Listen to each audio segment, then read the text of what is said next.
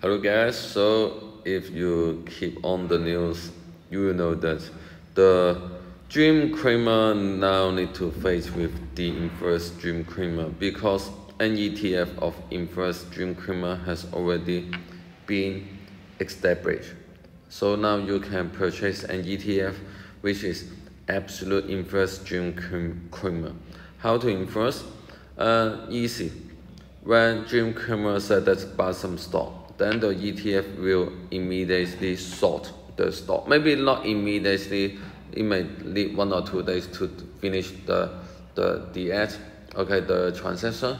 So when Jim Cramer sell, uh, sell the stock, then the ETF will simply purchase the stock, simple like that.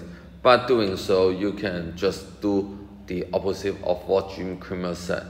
So let's see how this ETF will perform. I think maybe it will perform pretty nice because Dream Creamer to me is just a clown. All he said is absolutely wrong. I never saw him doing some right thing and it's disturbing. It's a little bit.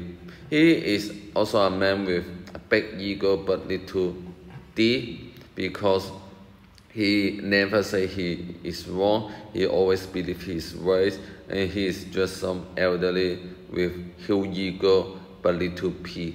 So I look down on him. So people, please tell me what you think about Jim Cramer and this ETF. I will read and reply all your comments. Thank you very much.